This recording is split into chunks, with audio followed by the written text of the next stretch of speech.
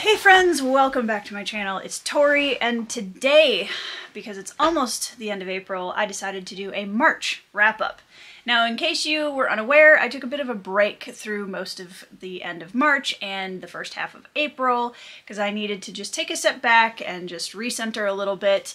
So that's why the March wrap up is late. So with no further ado, let's get into it. The first book that I read in March was Daughter of the Beast by E.C. Greaves. Now this book is one of the 10 finalists in the self-published fantasy blog off. Our main character in this book is Zintail Fairwinter and she is a halfling and she is kidnapped kidnapped from her sleepy little village by a barbaric pack of Volcari, which are basically giant, like wolf hybrids, essentially. And she, at first, is a slave in their culture, and she is forced to um, take care of their leader, and she is forced to survive their incredibly visceral culture. And as we go along, she slowly becomes more and more part of the culture, and things ensue. I really liked the fresh take on fantasy, and you can definitely tell that the author is pulling a lot of influence from Slavic folklore. There's a ton of folklore vibes in this book. It is book one in a trilogy. For me, this one overall I had a, a, good time with. I think some of the plot was a little bit jarring at times, and I did have a harder time getting fully emotionally immersed with the protagonist, which honestly for me tends to be a struggle when it comes to first person narrative stories anyway, so I don't necessarily know that that's the fault of this particular book. Um, but I did have a harder time connecting with Zintail as a protagonist than I did with some of the side characters, and I was a little bit more invested in them, I think, throughout the story. Um, and the plot was definitely followed more of that kind of folk tale disjointedness that happens sometimes, which I think, again, is the choice of the structure of this particular story. Um, but overall, I enjoyed it, and I think that it'll be interesting once again to see which of these SPFBO finalists comes out on top. The next book that I read in March was Harbinger of Justice by Andrew Watson, who is a fellow indie author and booktuber here on the old YouTube.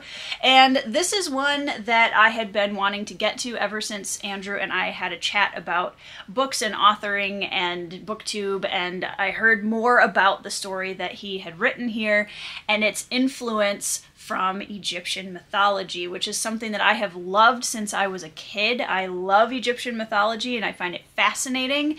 And I always get excited when I hear that somebody has brought that in as inspiration for a fantasy novel. So this is the story of several protagonists. It's a multi-POV story where we follow a young girl who kind of re represents this coming of age in a very harsh culture. She's a street urchin who's trying to take care of her very sick mother and she gets in trouble and it throws her into the path of an experience that leaves her quite changed.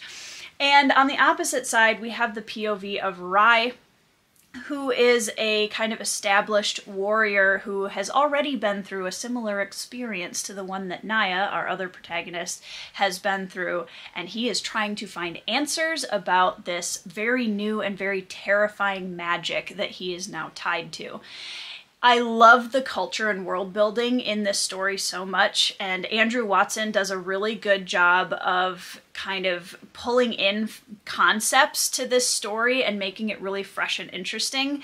The characters were kind of hit or miss for me throughout the story. I really liked, I think Rye was probably my favorite of the protagonists um, because I really liked him and his, especially his relationship with his sidekick character, which I don't really want to spoil too much about. Just read the book and you'll know what I'm talking about. Um, I'm really interested to see where he goes next in this series because he's really leaning into that kind of Egyptian deities and mythology, especially when it comes to the magic system, and I am here for that 150%. I did struggle a little bit with some of the character motives when it came to the antagonist, but overall I found that this was a pretty solid indie debut, and I'm looking forward to seeing what else Andrew Watson chooses to do with the world that he's building here. Next up, I read the ninth out of 10 SPFBO finalists, and that is The Last Fang of God by Ryan Kirk. This one we're taking a little bit of a step away from the Slavic inspired fantasy and we're moving back a little bit more towards the Nordic side of things. The Last Fang of God is about a father and daughter pair who are bound to their kind of demigod um, in a pantheon of demigods that each gives their followers a certain gift or strength. And this father and daughter pair have been chosen by a wolf demigod. Now, this one was really interesting and the, the world building and the magic system was fairly simplistic. I actually really liked the kind of stripped down elemental beast style magic system. I thought that was really, really cool. I liked the father character in this story a lot. The teenage daughter character was really where I started to have a little bit of problem with the story because she felt very one note and very stereotypical teenage girl throughout most of the story. And I found myself losing some of the immersion with the world and the magic system and the concepts that the author was giving me because of her angst level in the story.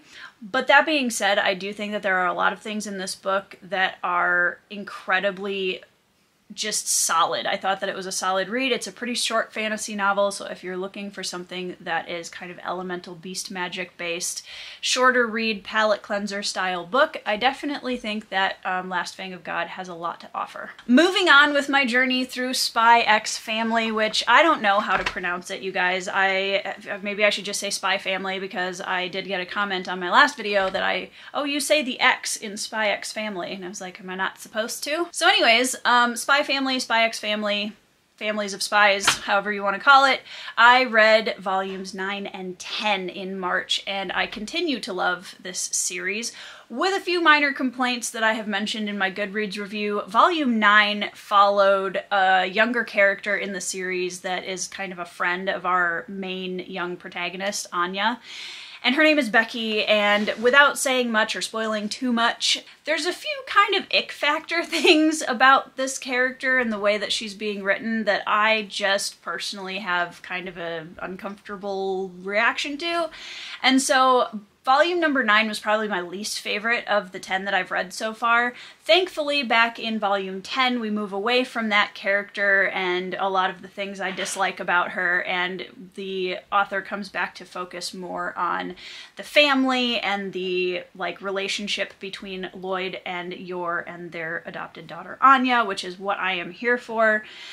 I am really nervous because I'm getting to the end of what exists in terms of the volumes that are currently available for this series, and that makes me a little nervous because I want to read the end of it, and we're not even halfway through the projected series yet, because I think there's supposed to be like 30 volumes or something close to that, which is going to be great when it's all done, but I don't like waiting because I'm not a patient person. So anyways, still enjoying it um, with, like I said, the exception of a couple of a couple of things in the series that I'm just kind of like, okay, I could do without this kind of like weird relationship thing that's going on here with a couple of the characters.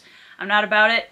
But overall, really loving this the dysfunctional family and the like very light thriller aspect of this. It's just very cute. And actually, I wanted to show you guys, I actually added a friend to my bookshelf I don't know if it's going to focus on her. But this is Yor Forger. She is my favorite character from the Spy Family manga. I love her to bits and pieces. She's amazing. She is a young woman trying to figure out how to be a mother and also by the way she's a master assassin which is just super cool so she is awesome and I added her to my shelf with my other characters from Rurouni Kenshin. Next up, I decided to go back. I needed a I needed a comfort read in March, so I decided to go back to a tried and true series that is one of my favorites of all time, and that is Morning Star, which is book three in the original Red Rising trilogy by Pierce Brown. This is one of my favorite science fiction fantasy books ever.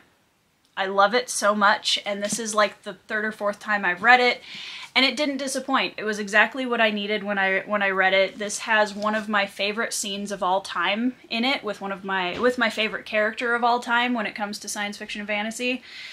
And I love this series so much, and I had committed to doing a reread before I continue on with the secondary series that is still ongoing. And I will be reading Iron Gold very soon because getting back into this world and just it really feels like going home. I love these characters so much. I love so many of the themes that Pierce Brown uses in Red Rising, and I know y'all are sick of me talking about it at this point, but get used to it because uh, there's going to be a lot more Red Rising content coming up as I continue the series. I still love it, and I, I still get emotional at the same parts every single time.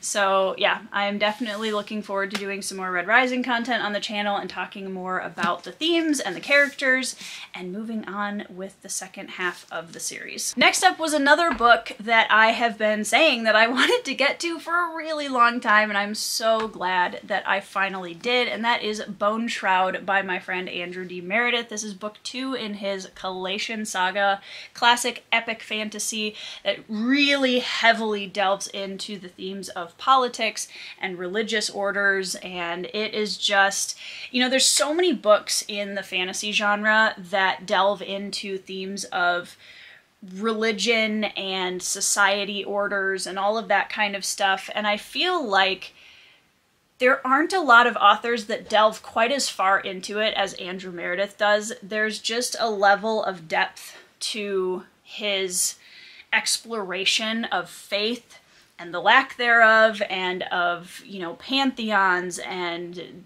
like just systems of order within society and religion and it is just fascinating to try to kind of peel back the layers of world building that exist in this series if you are someone who really loves uh, classic fantasy vibes, that kind of epic struggle between good and evil, but you like a little bit of gray that a lot of the classics don't have. This series is definitely one that I would put on your TBR because I think that Andrew's doing a lot of things in this series that I have not seen done before in fantasy to the level that he's doing them and I think it's definitely worth a read. In terms of moving forward in the series, I got more of the characters that I loved in book one.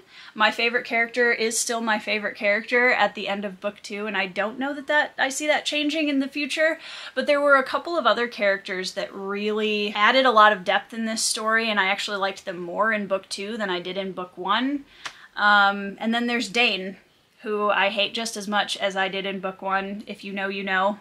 um, but I'm really excited to get to Gloves of Eons, which is book three in the series, and hopefully get that done in time to catch up when book four comes out later this year because I'm trying to keep up with more of these series, but this was one that I've had on my TBR for quite a long time, and I was really glad to finally be able to cross it off my list. The last book that I read in March was I needed to take a little bit of a trip away from fantasy. I needed something completely different, and I was trying to pick back up an audiobook as I've been trying slowly to get myself used to audiobooking and learn how to focus on audiobooks. And I've discovered, as I've mentioned before, that memoirs are really good option for me in that sphere of reading. And so I picked up I'm Glad My Mom Died by Jennette McCurdy. I grew up in the 90s and early 2000s, right during the time when Nickelodeon and all of those kids' networks were huge. They were huge when I was young. This is something that actually not a lot of people know about me, but when I was a teenager, I actually auditioned um, for a company that was looking for girls to join the Lizzie McGuire show. Um, my parents and I decided after going through the audition process and finding more about the contracts and how much control the executives of that company would have had over my life and my acting career um, that they were not comfortable with that. And in hindsight, I'm really, really glad because the more that I learn about a lot of what was going on um, on those networks at the time, the more I'm so glad that I dodged whatever bullet that was because I'm not saying that it's all bad, right? And I don't think Jennette is either. But the things that Jennette went through and that that chase of celebrity and fame that she went through with her mother and being forced into a lifestyle that she didn't really want and wasn't comfortable with um, at the expense of her childhood was really sobering to read, and I think it pulls back the curtain on a lot of the experiences that children in the spotlight of fame have, unfortunately. And I'm really, really glad that Jennette was brave enough to express her experience and share it with the world. I think it's a really well written memoir, and hearing her read her own story is something that I have always really liked about memoirs. I really like being able to hear it in the author's own words, and yeah, it was a really solid memoir. So, highly recommend if you're looking for this kind of category of memoir. I think that um, it has a lot of really important information that especially for those of us who grew up during that time period and for a lot of people i wasn't necessarily my kind of scene overall but a lot of the girls that i grew up with really idolized a lot of the actresses and characters from these shows and i think just knowing more about what some of these young actors went through is really important so anyways, that is everything that I read in March of 2024, and um, yeah, sorry it's late, but at least better late than never, and I hope that you guys had a really good reading month in March. Let me know what your book of the month was down in the comments below. I realize that's something I should probably be doing, I guess, at the end of these, so if I had to pick a book of the month, I think I'm actually going to say I'm Glad My Mom Died by Jennette McCurdy, because I really, really was impacted by i thought it was really well written i thought it was a really impactful uh, memoir and yeah it was clearly uh, something that's really important i think for an entire generation of, of people who grew up in the same uh, era that i did. So i think that's going to be my pick for book of the month. I would love to know what yours was down in the comments below. I hope you are having an awesome week. I hope you're reading five star reads and i'll see you in the next video